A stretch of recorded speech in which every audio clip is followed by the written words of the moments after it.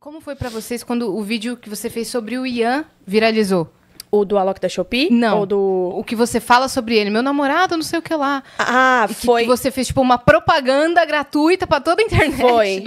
É porque, cara, o Ian... gra- Deus me deu vários entretenimentos na minha casa, né? Um foi minha mãe e o outro é o Ian. que- Personagens, né? Personagens. Personagens que me dão muito conteúdo. Eu falo que às vezes o meu talento nem é tão de talento. É, é eles, assim, me dando conteúdo o tempo inteiro.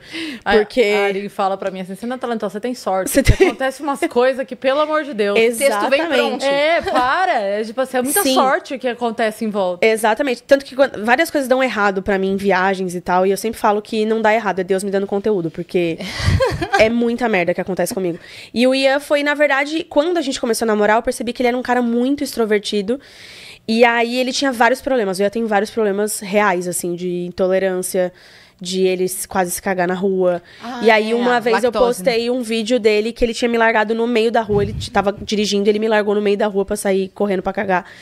E aí eu postei isso porque eu gravei.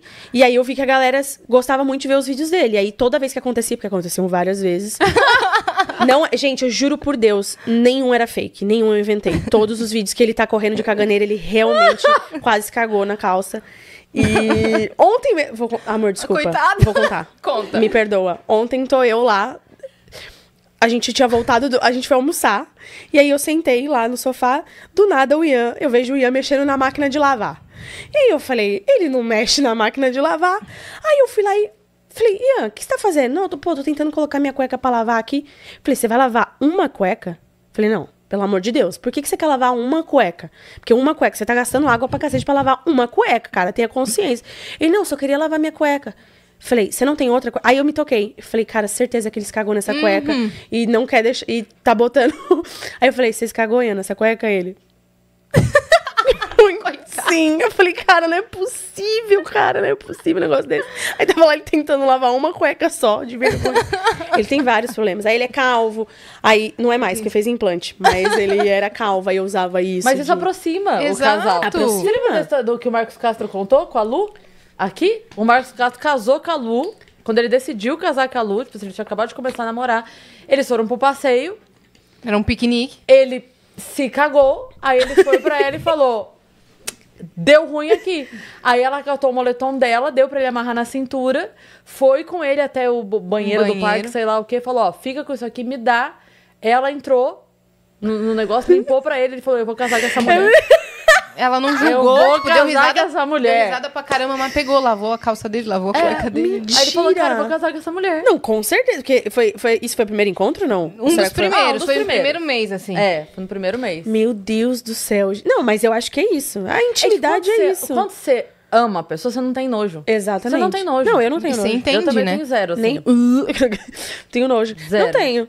É, assim, isso acontece, eu acho engraçado. Ele tava com vergonha de me contar ontem. Aí ele falou, pô, eu não queria e tal. Não sei. Eu falei, cara, relaxa, tá tudo bem. Falei, só vamos ver, porque você tá se cagando muito, a gente precisa identificar o que tá acontecendo de novo. Porque ele tinha parado.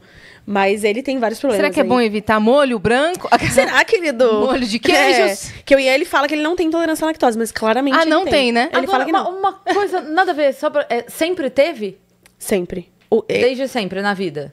esses problemas de alergia, de, De intolerância? Sim. Sempre teve? Ah, tá. Sempre. É, não, eu tô perguntando porque o Damar foi desenvolvido durante a pandemia Pode e aí ela ser. descobriu na médica que muita gente desenvolveu e que aí não era uma intolerância, é, de fato, Aham. Sim. genética. Era uma... co- dava pra tratar. Por isso que eu perguntei. É, então, Só- o dele ele já fez exame, não, no exame não deu intolerância. Aí ele, ele já, eu já fui com ele em várias endoscopias, inclusive são vários conteúdos meus maravilhosos que eu adoro filmar ele na endoscopia, ele fica maluco. Fica chapado da endoscopia. Chapado, chapadaço na endoscopia, ele fala muita merda.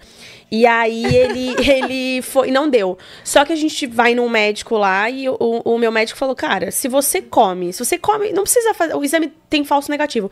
Se você come queijo, come, come lactose e te dá ruim, não precisa ser um gênio pra você identificar você que você almoçar, tem problema. Cagou na calça? É, então, se você se caga nessa frequência, meu lindo. Você abandona sua namorada no carro, no meio do trânsito? Exatamente, É né, de se pensar que você Não, tem intolerância. Exatamente. Você Aí ele não tem precisa vários. ir no Fleury pra Não saber. precisa. Não precisa. Aí ele tem alergia, tem uma série de remédios também que se ele tomar, uma- eu dei um remédio errado pra ele outro dia e a eu fui acender a luz, a cara dele estava desconfigurada, ele desconfigura a cara dele assim, aí tem que levar pro hospital.